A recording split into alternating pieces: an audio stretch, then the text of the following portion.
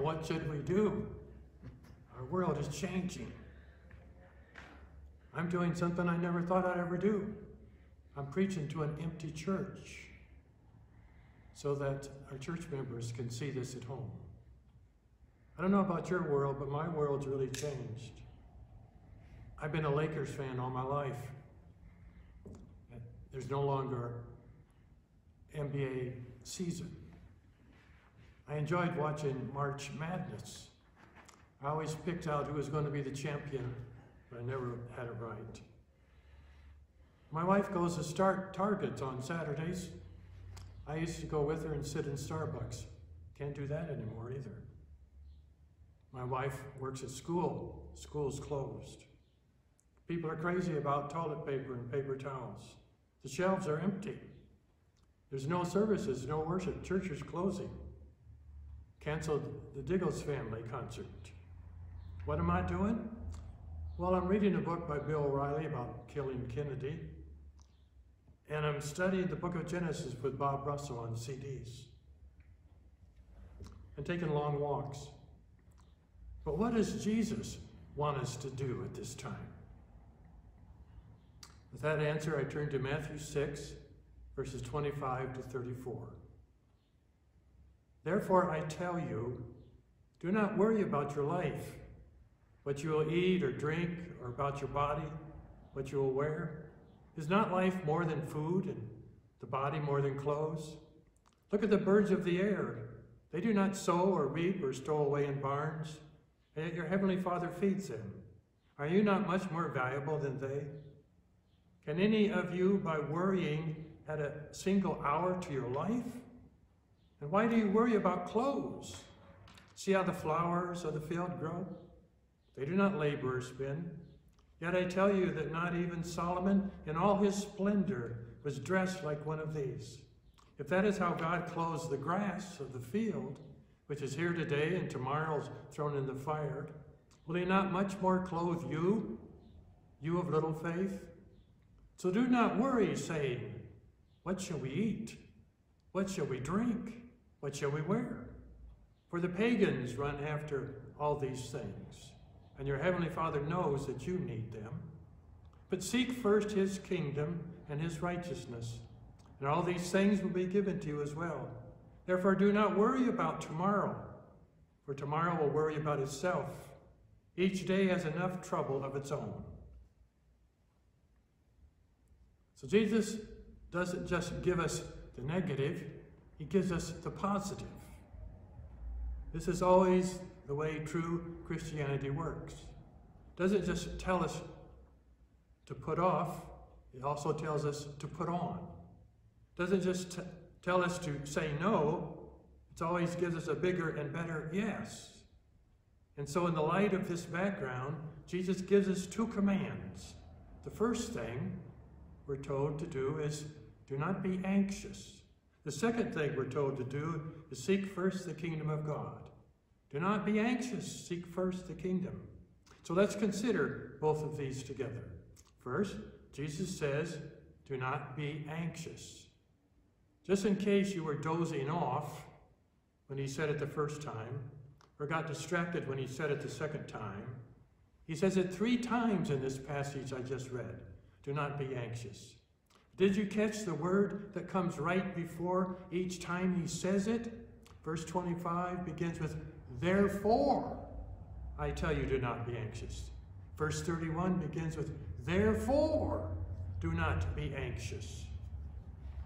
Verse 34 begins with, Therefore, do not be anxious. Now, you see what this means? It means a Christian's peace is always meant to be a rational peace. It means we don't have to somehow dig deep and muster it all up ourselves. It means that we're meant to know something that logically and spiritually removes anxiety. Now, I understand that there are cases when anxiety is, in fact, a chemical issue that only medicine can remedy. But remember, as Christians, we always have a therefore. What's the therefore? What's the reason for our peace? It's the truth that in Christ, God is our loving Heavenly Father. That is what chapter 6 in the Sermon on the Mount is all about. It's all about the Father. Starting at the very beginning, Jesus tells us of the Father who sees. And then when he comes to prayer, we're told of the Father who knows and who hears. Now, here we're told that God is our Father who cares and who provides. What is our therefore? The logical background for our peace that God sees, He hears, He knows, He cares, and He supplies. What does Peter say in 1 Peter chapter 5, verse 7? It reads, Cast all your anxieties upon him, for here's the reason. He cares for you. This is the background to our life, the sovereignty care of our Heavenly Father. But the problem that Jesus points out in verse 25 is that too often we're only focused on the foreground. We're focused on the wrong things, asking the wrong questions. What we're focused on is our immediate needs, and all we're asking is, what if? What if I don't get? What if this happens? What if my needs? So what does Jesus do? Starting in verse 26, he begins the background in view. He says, Look at the birds of the air and the lilies of the field. Who feeds them? Who dresses them? It's God. God is managing the entire bird economy. And God is in the control of the little fashion industry. What is he doing? He's getting us to see the background. It's almost like he's saying, imagine a father who has a bunch of birds for pets, and these birds don't work, they don't toil, they're not stressed out, and yet they're fed every day. How irrational would that father have to be to care more for the birds in a cage than for his own children in his house? And this same father has a garden of flowers how mad would that father have to be to care more about the flowers than his very own children? And this is why Jesus says, Are you not of more value than they are? And the answer is, Of course you are. God is your father and you're his children. And every father in his right mind knows how much he cares for his children. What is Jesus doing? He's getting us to see the background, that behind every good thing in all creation is the loving, sustaining hand of our Heavenly Father. Never mind his very own children. This is the background that Jesus wants us to remember and to be reawakened with. Because if we don't, and if we're not, that's only no long-term solution for our anxiety. So at this time, what we're going through, you may ask, where, where is God? I understand that deeply. I sympathize with that question.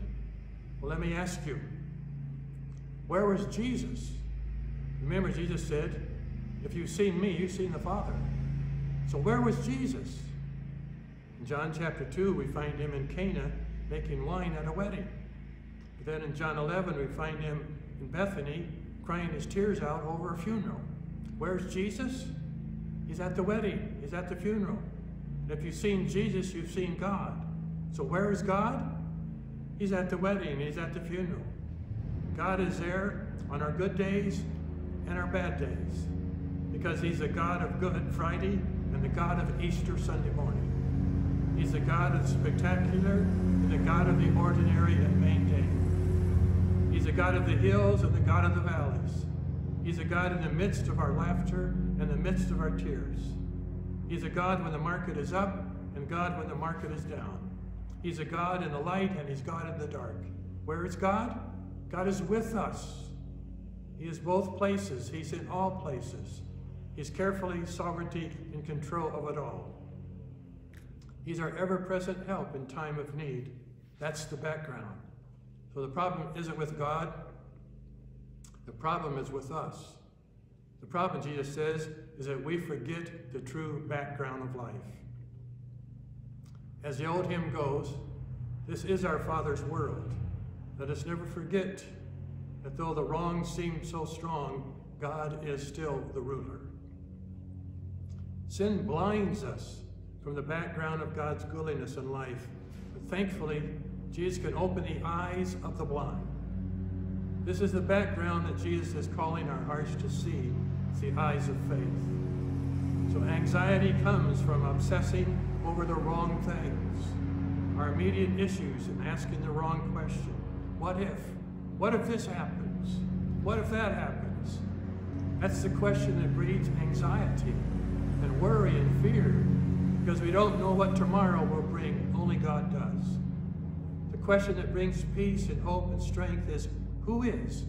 Who is my God? Who is our God? What do we profess to believe as Christians? I believe in God the Father Almighty. That's it. That's the background of our life and our faith. So, what are you focused on? What questions are you churning over in your heart and mind? Do not be anxious. But then, as I said, we're also giving something to do. We're given the positive. Seek first the kingdom. What does this mean? And how do we do it practically? But before we try and answer that, I want you to see the helpful connection that Jesus makes for us here. In verse 32, Jesus connects our anxiety with our seeking. Watch this, he says.